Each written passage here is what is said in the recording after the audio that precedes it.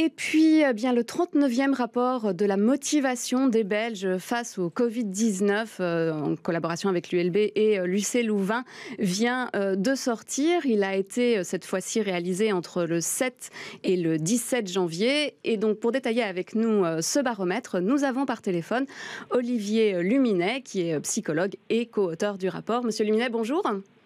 Bonjour. Bonjour, monsieur Luminet. Alors, une des premières choses euh, qu'on apprend dans, ce nouveau rapport, c'est notamment la baisse de la motivation des vaccinés à suivre euh, les, mesures, les gestes barrières. Euh, ils ne sont plus que, j'ai envie de dire, 66% à, rester motivés. Comment vous expliquez cette baisse de la motivation début janvier? Alors il y a plusieurs facteurs qui peuvent l'expliquer. Il y a d'une part à certains moments de à un certain moment un niveau de, manque de confiance par rapport au message euh, des autorités, mais il y a d'autre part aussi euh, différentes interrogations qui naissent dans la population sur euh, le variant Omicron qui euh, euh, est moins sévère et donc cette moindre sévérité encourage aussi un, certain relâchement par rapport aux mesures. Il y a inévitablement l'effet d'usure. Hein. Les gens sont fatigués, sont, en ont marre de cette épidémie et donc ont tendance de manière générale par lassitude à laisser un petit peu tomber les bras. Oui, effectivement, comme on voit qu'il n'y a pas forcément une hausse des hospitalisations euh, qui est liée, pour ça, permet aussi de se relâcher un petit peu. Pour vous, c'est une fausse bonne idée de, se relâcher? Ça fait partie aussi de vos conclusions? Alors, euh, c'est totalement compréhensible d'un point de vue euh, psychologique, mais ça peut poser effectivement certains problèmes. On a malheureusement été confronté de nombreuses fois dans cette pandémie à des retours en arrière. Et euh, par exemple, l'idée euh, qui est de plus en plus euh, approuvée par la population suivant laquelle il faudrait faire circuler le virus et que cette circulation peut être augmentée est sans doute quelque chose à risque et qui nécessite d'être bien expliqué par les spécialistes médicaux. Mais cette circulation, en tout cas, présente des risques, notamment par rapport à la génération de d'autres et de nouveaux variants. Euh, dont on n'a pas tellement envie de, voir l'arrivée en Belgique dans les mois qui viennent. Oui, non, ça c'est sûr, effectivement. Alors il y a autre chose aussi qui ressort de votre rapport, euh, c'est évidemment la, méfiance euh, par rapport au gouvernement et sur sa capacité à, bien gérer cette, crise.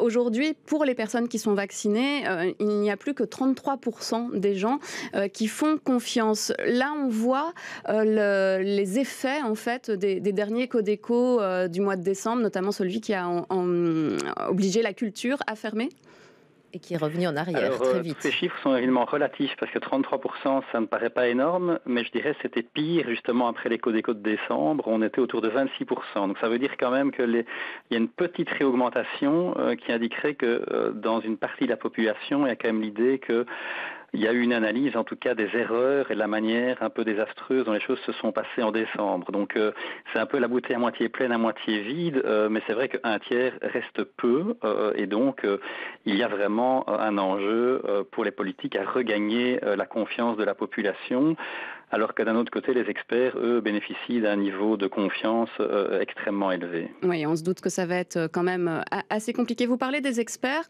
on est à la veille d'un Codeco, il va y avoir demain en principe ce fameux baromètre Corona dont on parle depuis quasiment le début de cette épidémie. vous pensez que c'est une bonne chose justement d'un point de vue psychologique pour la population d'avoir ce baromètre et donc avec une perspective et des règles qui sont un peu plus claires? Ah, certainement, on en parle nous depuis l'été 2020, donc euh, on est content qu'il arrive enfin sur une table de discussion et de concrétisation possible parce qu'il euh, présente toute une série d'avantages euh, psychologiques en termes de prévisibilité. Il va vraiment aider, s'il est adopté, les gens à savoir où s'en tenir par rapport euh, à différents euh, niveaux de gravité, comme euh, malheureusement à l'époque des attentats terroristes, on avait appris à fonctionner aussi avec ces niveaux d'alerte, mhm. et ils avaient été aussi assez bien compris par la population et avaient quand même aidé à, gérer cette période de crise. Oui, donc ça pourrait vraiment permettre à, aussi peut-être finalement mieux respecter les gestes barrières quand c'est vraiment nécessaire en tout cas mieux comprendre à chaque fois pourquoi euh, il est nécessaire de, changer sa tactique et sa stratégie. Ce qu'on voit très clairement, c'est que le moteur principal du suivi ou non des règles, c'est la perception des risques. Est-ce que je perçois des risques pour moi, pour mes proches et surtout des risques d'être sévèrement malade? Dès que je ne les perçois plus, je vois plus la nécessité de continuer.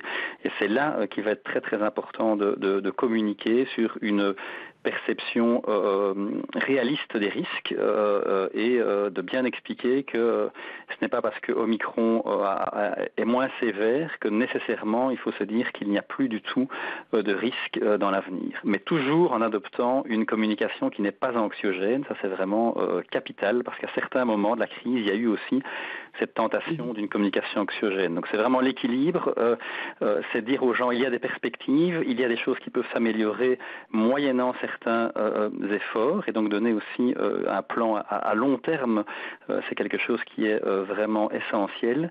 Et en chaque fois informant le mieux possible sur les risques encourus par rapport à certains types de comportements. Ce qui nous inquiète un peu, c'est qu'un comportement très facile comme la ventilation est en baisse, par exemple. Il y a des comportements coûteux, hein, ça il n'y a pas de doute. Porter un masque toute la journée ou limiter ses contacts relationnels, c'est difficile. Mais ventiler sa maison, c'est quelque chose de très facile. Et donc il faudrait vraiment insister sur les mesures faciles faciles, peu coûteuses, mais qui vont vraiment limiter euh, les contaminations. Oui, que malgré euh, les températures un peu basses en ce moment, euh, ça peut être bien d'ouvrir un petit peu les fenêtres de temps en temps et que de et c'est notre rôle aussi, à nous les médias, hein, de rappeler ces petits gestes simples finalement qui peuvent permettre justement de limiter cette propagation du virus. Olivier Luminet, merci beaucoup d'avoir détaillé avec nous ce baromètre. Et puis, bah, on vous interrogera certainement pour le 40e. bah d'accord, avec plaisir. Passez une, bonne journée, à bientôt. Au revoir.